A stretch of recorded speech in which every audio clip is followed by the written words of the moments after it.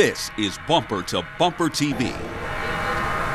This is the long awaited Ford solution to getting better fuel economy, staying green, and a way the company hopes to keep selling SUVs and crossovers in good conscience. The EcoBoost version of the Ford 2 liter Duratec engine is promoted as a four cylinder power plant with V6 performance. Initially, it will be offered in the Explorer and the Edge crossover front wheel drive versions.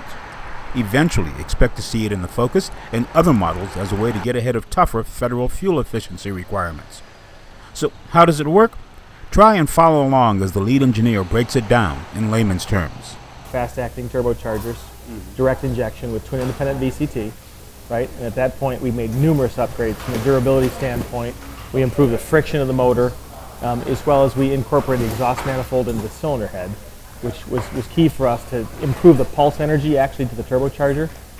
That gives you that quick spool up as well as the uh, low inertia in the wheel of the turbocharger. This package gives the Duratec an impressive set of statistics.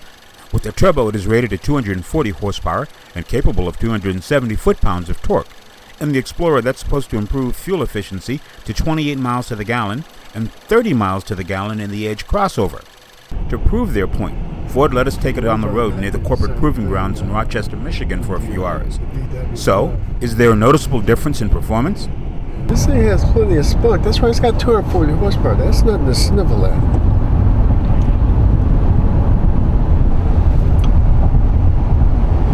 And you know, the thing that really grabs me is how quiet this engine is. Ford thinks it will match up well against global competitors offering similar mileage claims. Now, a visit to the proving grounds isn't complete unless there's the chance to show off a high performance engine. So, a sneak peek at the new Boss 302 Mustang revealed a new technical approach to burning rubber from a standing stop. You hold the set plus button on the speed control. The tachometer sweeps to 9,000. Let it go back. Program in whatever RPM you want. Like let's say we want to launch at 3,500 RPM. Hit OK. Once programmed, the engine idles at the set level, and you just drop it in gear to make your point.